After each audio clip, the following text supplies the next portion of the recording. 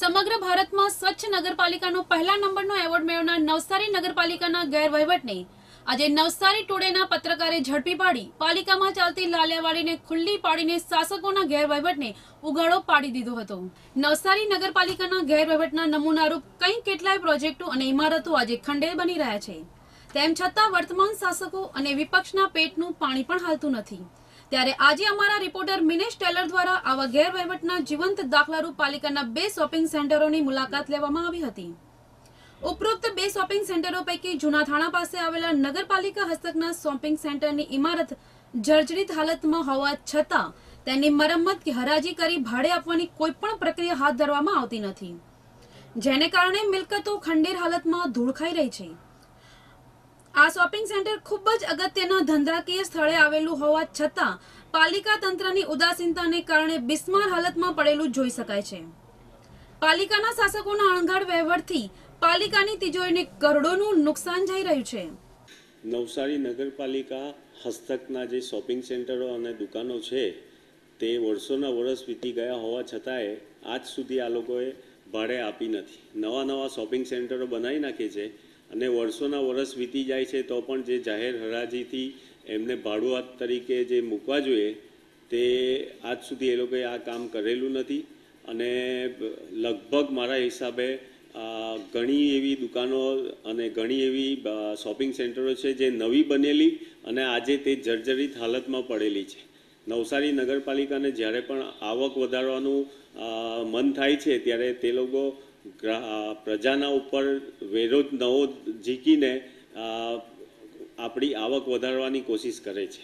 પણ આ જે આવક વેડફાય છે, જે આપણને મળી શકે છે, તે પૈસા માટે એ લોકો કોઈ નક્કર પગલાં લેતા નથી અને આ લોકોના કામ કરવાના કોઈ ઈરાદા દેખાતા નથી. જે શોપિંગ સેન્ટરો જૂના છે, એ ક્રમશઃ એક પછી એક આપણે રિનોવેશન કરી રહેલા છે. અને નગરપાલિકા એ જે તાજેતરમાં થોડા શોપિંગો બનાવેલા છે જેની હરાજી બાકી છે એ હરાજી માટે જિલ્લા મૂલ્યાંકન સમિતિ કલેક્ટર સાહેબના અધ્યક્ષસ્થાને મળે છે.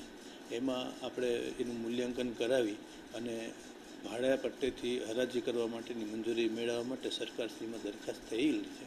એ સરકારમાંથી મંજૂરી આવી હતી એને હરાજી કરવામાં આવશે એ સરકારમાંથી મંજૂરી આવ્યાથી એક માસમાં હરાજી કરવામાં આવશે.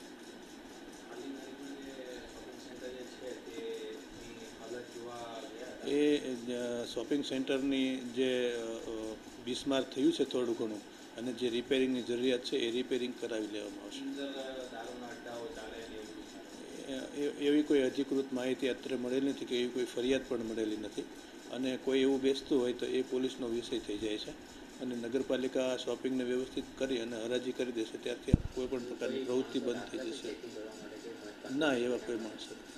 નવસારી નગરપાલિકા દ્વારા બે હજાર છ ની સાલમાં દરખાસ્ત મુકાયા બાદ બે હજાર પંદરની સાલમાં બે કરોડ એસી લાખના ખર્ચે તૈયાર થયેલા રાસી મોલ નજીક આવેલા શોપિંગ સેન્ટરની આજે ત્રણ વર્ષ બાદ પણ હરાજી કરવામાં નહીં આવતા એકાંતમાં આવેલ આ શોપિંગ સેન્ટર દારૂડિયાઓ અને અનૈતિક પ્રવૃત્તિ કરનારાઓનું ધામ બન્યું છે. આ બાબતે અગાઉ પણ હોબાળો થયો હોવા છતાં કરોડોના ખર્ચે બનાવવામાં આવેલું આ શોપિંગ સેન્ટર ખંડેર હાલતમાં પડી રહ્યું છે. અને પાલિકાને હરાજીના અભાવે કરોડોનું નુકસાન વેઠવાનો વારો આવ્યો છે. શોપિંગ સેન્ટરમાં દારૂના ટીન, દારૂની બાટલીઓ સહિત અનૈતિક પ્રવૃત્તિઓ ચાલી રહી હોવાના પુરાવારૂપ વસ્તુઓ ઠેર ઠેર પડેલી જોવા મળે છે. અને આ નવી બનાવાયેલી મિલકતના દરવાજા પણ તોડી નાખવામાં આવ્યા છે. ત્યારે અનૈતિક પ્રવૃત્તિઓના ધામ બનેલા નવસારી નગરપાલિકાના કરોડોના પ્રોજેક્ટો બાબતે વિપક્ષ અને શાસકોની મિલીભગત હોવાનું શહેરમાં ચર્ચાઈ રહ્યું છે. સામાન્ય નાગરિકોના વેરા બાકી હોય તો પગલા લેતા નવસારીના શાસકો આટલી મિલકતોના હરાજી અને કરોડોની ભાડાની આવકના નુકસાન બાબતે વર્ષોથી મૌન છે. ત્યારે વેરા વધારાના મારથી પીડાતી નવસારીની જનતા વર્તમાન શાસકોના આખેલને મૂક પ્રેક્ષક બની નિહાળી રહી છે. ઉપરોક્ત મિલકતોમાં ચાલતી અનૈતિક પ્રવૃત્તિઓ બાબતે પાલિકાના ચીફ ઓફિસરે એ જવાબદારી પોલીસ તંત્રની છે એમ કહી પોતાની જવાબદારીમાંથી હાથ ખંખેરી લીધા હતા. જ્યારે પાલિકાના ચીફ એન્જિનિયર રાજુ ગુપ્તાએ આ બાબતે કંઈ પણ કહેવાનો ઇનકાર કરી પોતાનો લૂલો બચાવ કર્યો હતો.